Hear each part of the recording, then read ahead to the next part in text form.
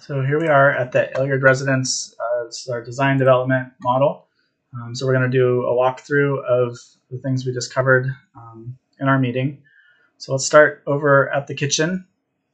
Let's take a look at our um, our square um, banquette seating here in the um, in the middle of the kitchen. This is a bar height uh, table. So you can see the bar height stools to the side with a booth that wraps around it. And then around this island, we have um, a lot of storage around the outside.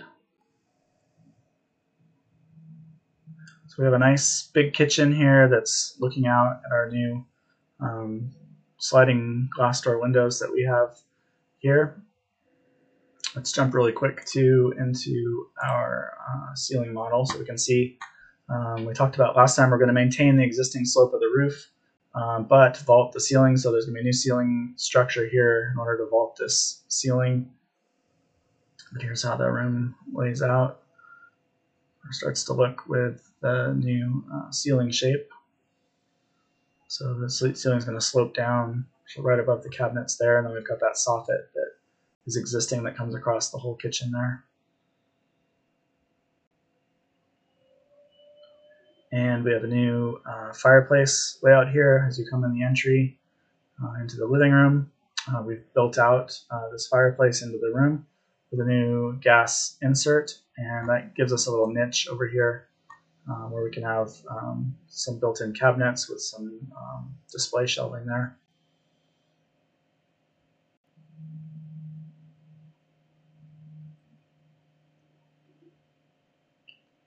So that's how the kitchen is uh, laying out.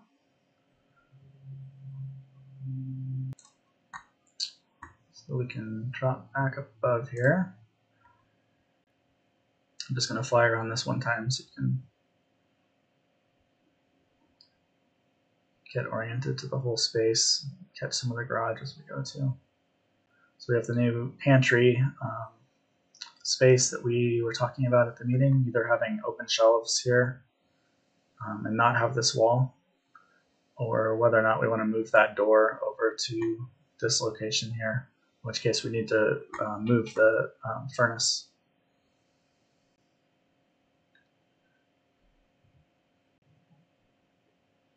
So this was option one we were looking at with the cabinets, with the um, high cabinet that comes all the way onto the counter over here. And then we also talked about um, having just, this was the preferred option, just having a standard upper cabinet over here, which makes this a lot more open. From the side of the kitchen, you can uh, see more of the view and, and it's not quite so monolithic there. And this, this was not the preferred option, having that um, pantry uh, door, but we want to have the cabinets come all the way across.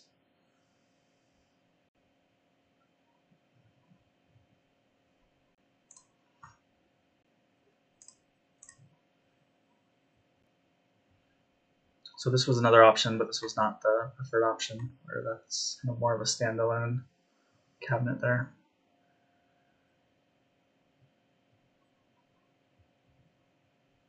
Okay, let's go take a look at um, just kind of the plan view of this, where we have the the pantry, and again, we need to decide if we want this wall or not, um, and what this door configuration is here. So talking about having the door here into the entry, and then we'd have no door here, just cabinets all the way across. And we do we can do some storage on this back wall, but it puts the pantry a long ways away from your garage pantry, farther away from the kitchen. So let's take a look at our the rest of our floor plan. So we're gonna go into the back part of the house, down the hallway. We have the office here, and then we're gonna come to the first bathroom here, where we have um, this wet room area where you have a walk-in shower with a bath in the back of it. It'd be tile all the way around. And then we have a single sink vanity and, and a toilet. We'll do a, a, mirror. We could do a medicine cabinet here on this wall. Uh, we'll get some options for storage and, and mirrors and lighting later. So our second bedroom, uh, third bedroom, fourth bedroom, and fifth bedroom with the master just going to fly around this plan once because I know you guys are going to be talking about um, the entry into the master bedroom, whether or not we want to do it here or add a door here and have it come go through the storage area into your bedroom, kind of more like you have right now. Let's look at this uh, bathroom at the end of the hall. This has just a walk-in shower with a single sink and a toilet.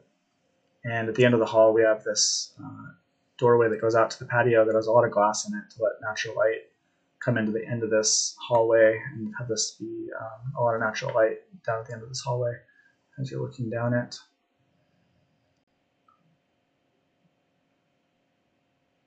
Let's go look at your master bath, master bedroom and master bath. So this was the more open option that um, I had modeled, but we're gonna go ahead and put the door back where it was before and put this door back where it was before over here. So we'll have single doors that let natural light into the um, bedroom and then you'll have these vanities will be uh, paired up again. Uh, and then we're gonna do um, a more solid wall here with, so about half of it will be glass, half will be solid. Um, and then you'll look down into that um, shower wet area with, with a larger window at the end um, to let natural light come into this room. And we can look at whether or not we can do a, a sauna shower uh, type thing, um, if that's something that um, is done and works. And then the water closet moving down here, I think, I think helps that a lot. And here is the master bedroom, how it's laying out. So you can flip the bed onto this wall when we shrink that door. That was the idea behind that. And then we also talked about doing uh, some built-in um, cabinets for drawers and uh, display shelving, maybe here and here with the fireplace and TV location um, as the layout for the master bedroom. And also uh, we need to decide whether or not we want doors going into this passageway or into this closet or whether that's more open. And that depends on whether or not we have the door at the end. So either entry to your bedroom slash closet there or here. That's what we need to decide on for this layout. So just spin around your master bedroom here once.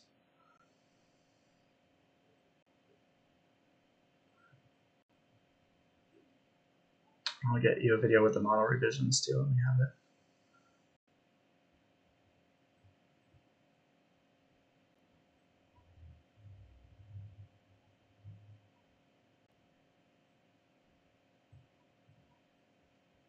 And let's go to the front of the house really quick. And look at what the house is looking like with our new window location. So this is an existing window. We have a new bathroom window new bedroom window and a new bedroom window. And this back bedroom has the corner two windows, so a lot of natural light. This would be a great uh, workout room or office also because all that natural light. Um, the back patio, um, existing window, and that new door into the new addition.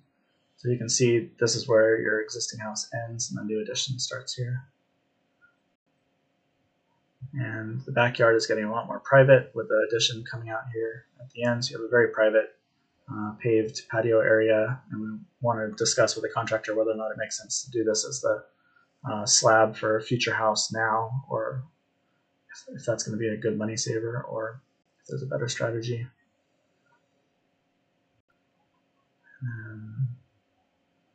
And this this side of the house, you can see all the new glass that we're getting here.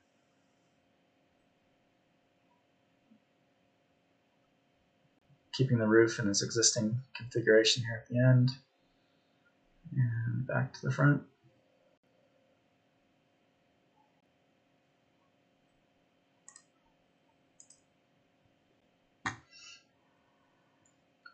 Just going to fly around the whole floor plan here one time so you can just get a feel for these different areas. So you guys talk about it more we talked about refinishing the inside of the garage, so it's really nice. Um, drywalling it and maybe epoxying the floor and painting the ceiling to make that really nice space. Bedrooms.